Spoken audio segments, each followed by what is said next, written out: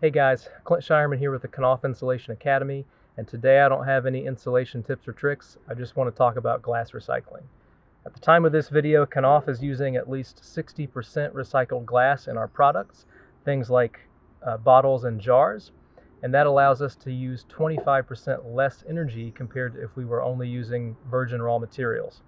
We bring our glass in by rail, and right now we're going through 11 rail cars of glass every day. That comes out to be 57 tons of glass that avoids the landfills every single hour that our plants are producing. How much fiber can we get out of one bottle?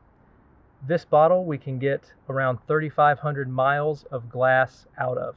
That's enough glass to stretch from New York City to Paris.